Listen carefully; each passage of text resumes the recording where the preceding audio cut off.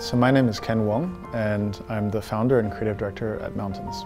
I was working in London at a company called ustwo. Uh, we made a mobile game called Monument Valley that did quite well and kind of on the strength of that um, I've been able to come back to my home country of Australia and start up my own studio.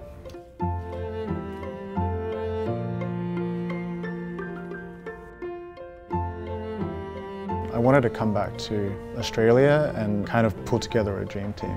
Kamina is this wonderful, warm personality and helps organize us and process our thoughts. And she's big on uh, community events and volunteering.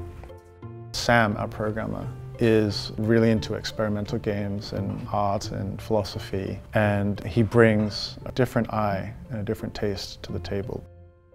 And then our lead programmer, Tony, is really experienced and has an amazing approach to technology and art and projects. Mountains is a craft game studio. Um, that's how we explain ourselves to, to people.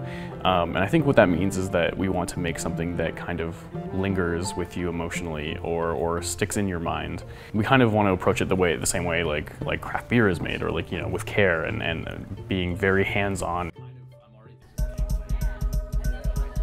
So we start the game and the opening scene is our girl character in preschool. So many games are kind of just used uh, to fill our time and act as a diversion. And that's not the case. I like to think that we can make games that are surprising and um, aesthetically beautiful and can give people a different experience. I want to see if we can make something akin to you know, a beautiful film or a beautiful piece of art. Yesterday, uh, we announced to the world that the first game for Mountains is Florence, uh, which is really exciting. And it's been great. There's a lot of positive reaction. I think people are really excited about the game. You know, it, it feels like there's an audience out there that, that wants this kind of story and this kind of experience.